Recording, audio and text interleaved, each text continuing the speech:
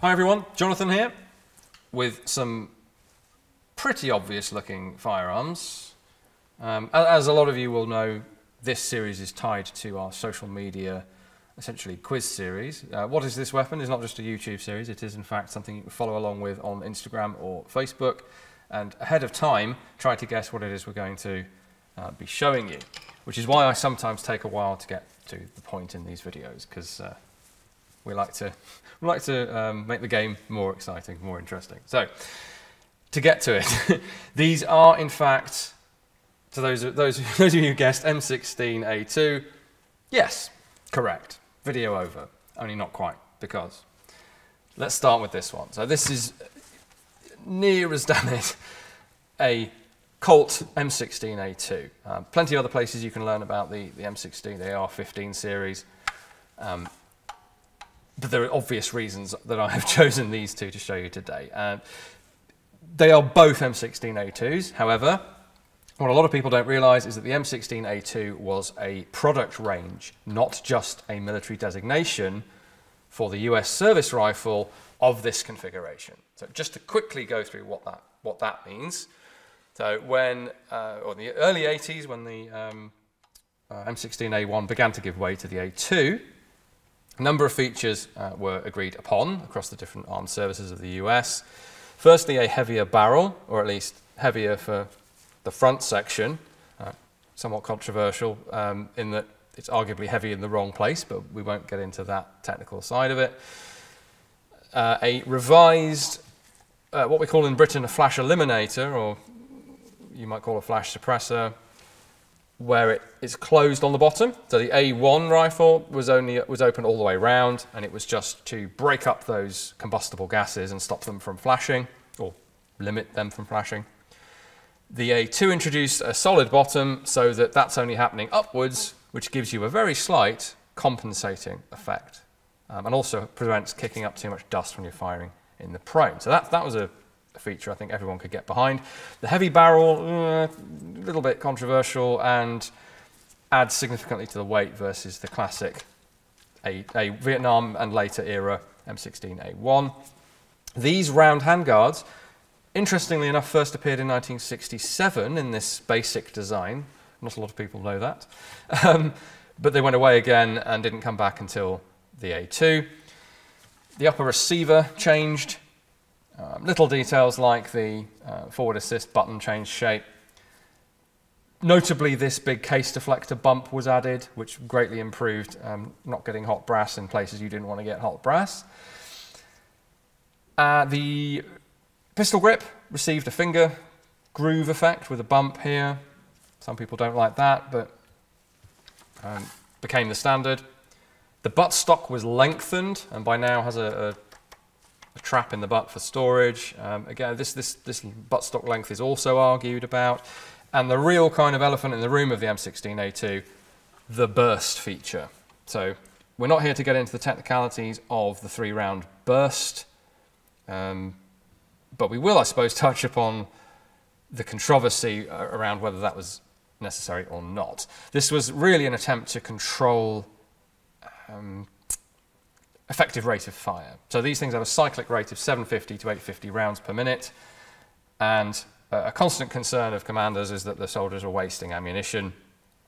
And it was thought to be more efficient to have a group of three rounds, a burst of three rounds. The soldier can control the rifle for long enough for the three rounds to leave the gun, uh, and then he'll experience the recoil or uh, you know, along those lines. Well, that, that doesn't work unless you go for something like a hyper burst where the two bullets or three bullets are gone before the recoil is, is felt against the shoulder. In practice, what you find is the first shot's on, the second and third are off, just like when you're firing in automatic. So, not. I think, I, think, I think we can say that was definitely a bad move because the M4A1 variant that's now replaced most of the M4s, the successors to the M16 effectively, have gone back to automatic. And the last feature I need to point out to you before we, we give you the angle here. What's the angle? What's he talking about? Well, finally, the A2 pattern sights. So it changed the shape of the carrying handle, therefore the upper receiver, and they are now adjustable. So instead of just being flip up, flip down, two options, you now can adjust, uh, without having a tool or a cartridge, you can adjust um, windage and elevation. The US Marine Corps was particularly keen on adjustable sights. I gather um, the Army less so. So that, all that background is, is important because what we've got here, this one, this is a British purchase, M16A2. So something I'm researching at the moment for a symposium paper over at the Cody Firearms Museum later in the year is the British experience of the AR-15. That's the broad family, and including the M16. I'm doing that with uh, Matt Moss of the Armourer's Bench. He's going to be picking up uh, other aspects of it. I'm in particularly interested in the sort of technical development side of it. So this was, this was in fact a British service M16A2 basically indistinguishable from the issue, the USGI M16A2. However, even this one is a bit different. So if we show you the roll mark on the lower receiver, you'll see that it is a commercial roll mark. It does not say property of US government.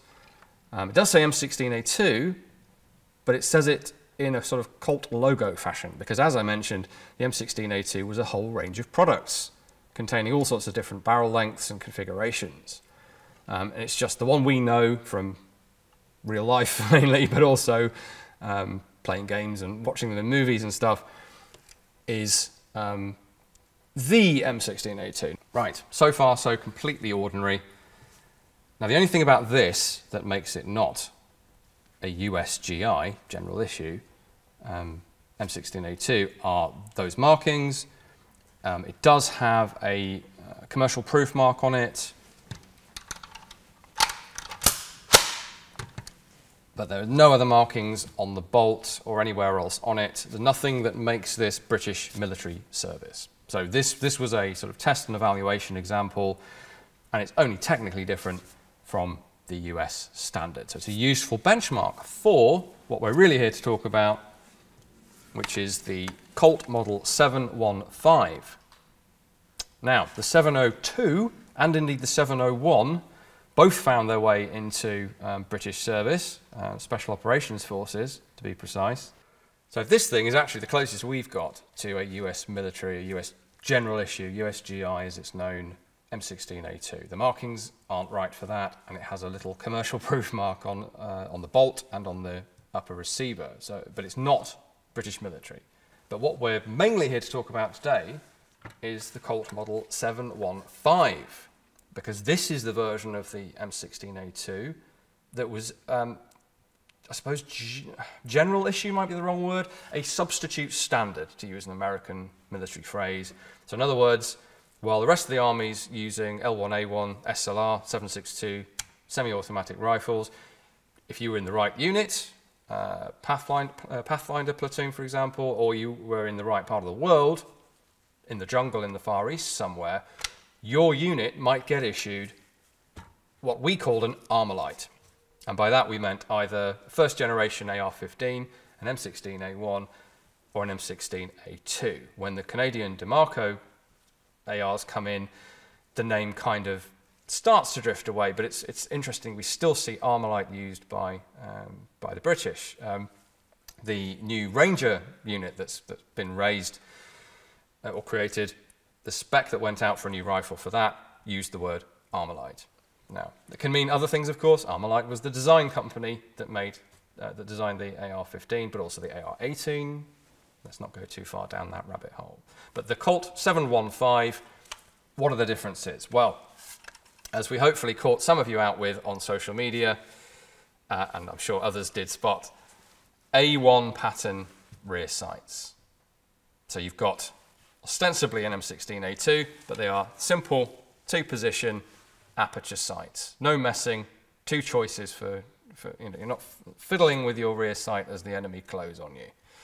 No worries over training, that kind of thing. Now that's interesting because in the documentation I've been looking at, this pattern of sight was criticized back in the 60s as um, it, you know, not, not what they would have wanted, which is interesting because the SLR had a very similar setup sights-wise. But anyway, clearly that was a lone voice because this became the sort of more widely issued. We're talking a few thousand rifles here, we're not talking an absolute ton, but nonetheless. So the sights are different. Um, also, in common with the 701, which is this but automatic, the 715 is de facto auto setting on the receiver. Um, you see it on this side, obviously the switch is on the left side. So instead of saying burst, it says auto, because it doesn't have that finicky three-round burst mechanism that a lot of people hate. So some people are already cheering because you've got two features that uh, some people who don't like the A2 very much um, don't have to worry about. But it has just about all of the other A2 features. It has the longer buttstock, it has the uh, slightly modernized forward assist, it has the A2 pistol grip, the A2 flash suppressor, which interestingly on this gun has been timed off to one side. Um, I assume that's been deliberately done, being done deliberately by a unit armorer before this came to us. That would act a little bit like the slant um, compensator on an AKM and push the muzzle away from recoil. Um, I think I've seen that done on a couple of other civilian-owned ARs, but yeah, interesting. Overall, we have this black finish. Now, this is the same black Suncorite paint that was on um, the SLR and various other weapons. So that immediately means you can go, ah, if it's, if it's a, a sort of mattish satin black AR, it might be a British one if you're coming across rifles or parts, depending on where you live in the world. The real clincher, though, um, well, there are other armed forces that probably did this. I'm just trying to think what the IDF, the Israeli Defense Force, has done. But definitively, the British British service AR-15s, and I'm including the M16 in that because it's an AR-15, they have a serial number on the upper receiver as well as the lower. And from the earliest times, all the document, documentation says because this gun can be separated into two halves so easily, we need a serial number on the upper receiver, uh, or the body, as we might have called it if we'd adopted it more formally. Because although these were adopted formally, I've contradicted myself, but I'll explain. They weren't adopted, they weren't sort of type classified under the L the land service system. So there was never an L1A1 556 rifle. Um, they used their American names. So AR-15 to begin with, then M16A1, then M16A2. Bit of a nightmare for the logistics people to then track the different models of AR-15 that were in service overlapping with each other. Um, the AR-15, the, the pre-A1 AR-15s and the A1s were cannibalized together. Uh, we've also seen A2 uppers on other lowers. And that's a standard story around the world. Whoever uses AR-15 pattern rifles ends up doing a bit of a mix master thing with them, um, depending on their size, funding, needs. So, all a bit confusing and perhaps a bit nerdy even for this series, but those features together allow you to identify British AR-15, specifically M16A2 in this case. Now, there are markings as well. So if anyone's in the position to be coming across components, just for belt and braces, we'll show you some markings as well.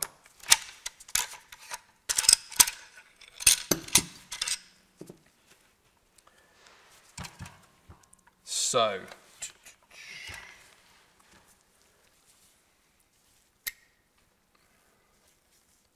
Standard British practice is also to put serial number on the bolt carrier as well. So upper, lower, and bolt carrier. That's pretty clear on this one. This is the um, sort of black uh, phosphate, pretty, I believe, standard to the A2 um, family. We've then got, don't know if I can just be able to see this without me disassembling the, the bolt carrier group. Uh, well, first of all, next to that serial number, pressed into the metal through the finish, little pair of crossed pennants. See those? Yeah. And then again, there's that serial number and those crossed pennants again on the bolt itself. Partially concealed, because um, I don't have to find a cartridge to push out the cotter pin. But um, so this is pretty standard. Uh, British military proof. Those crossed pennants are British military proof, which denotes typically a service weapon or maybe a test and evaluation example. This setup, so an A2 rifle with the heavy barrel, the modernized furniture, the cartridge case deflector, but the A1 rear sight and the automatic lower receiver that would sound familiar to anyone from the Canadian Armed Forces because that's what was adopted as the C7 rifle in 1982. And that's when this model has just been finalized, basically. Um, now, I believe the Colt Model 715 came first. Diemaco in Canada licensed that from Colt rather than the other way around. But it's interesting that we had a bit of convergent procurement effectively in that the, the British forces for non-SF units effectively purchased what was the, essentially the same rifle as Canada had adopted or adopted about the same time as the C7 rifle, which is still going in modernized form, whereas these guys have been replaced by, ironically enough, Diemaco products, notably a version of the C8 as the L119A1, and for SF, they're on the A2. But uh, hopefully an interesting dive into a little bit of the research I've been doing on the British AR-15. I give it the scare quotes because the UK never made AR-15s of any kind. We only ever purchased them. Uh, you might argue that we should have done, given what happened with SA80. Thanks very much for watching, guys. Um, there are various ways that you can engage with the collection here at the Royal Armouries, this being one of them. Um, you can also head over to the GameSpot YouTube channel for more of me talking about guns. Um, we have our own social media outlets, Twitter, Facebook, Instagram. Um, there's our website, of course, our online collection that you can peruse. Uh, most of all, though, we'd very much like you to come and visit us at one of our three sites here in the UK, up here at Leeds, uh, down at Fort Nelson on the south coast, or indeed at the famous Tower of London, where all of the arms and armour you can see there are ours, which is nice. so we'll see you again next time.